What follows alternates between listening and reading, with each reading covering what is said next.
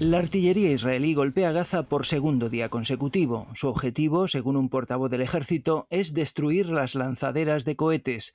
Esta pasada madrugada Israel ha extendido su operación a Cisjordania y ha arrestado a 19 militantes de la yihad islámica, organización considerada terrorista por Estados Unidos, Israel y la Unión Europea. La yihad habría lanzado en las últimas 24 horas unos 160 cohetes contra territorio israelí. Prácticamente todos han sido interceptados por los sistemas de defensa, mientras sonaban las alarmas.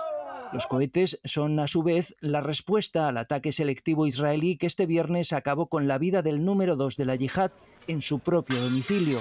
Según Israel, en este caso se trató de un ataque preventivo. Solo en este bombardeo murieron 11 personas, una de ellas una niña de 5 años. Marian se queja de que no les avisaran previamente del ataque. Dice que estaban preparando la boda de su hijo, pero que tuvieron que abandonar la casa a toda prisa. Hoy en la franja apenas hay actividad, las calles están vacías, los comercios cerrados, los pescadores no han salido a faenar. Israel mantiene un férreo bloqueo de este enclave palestino donde viven 2,3 millones de personas.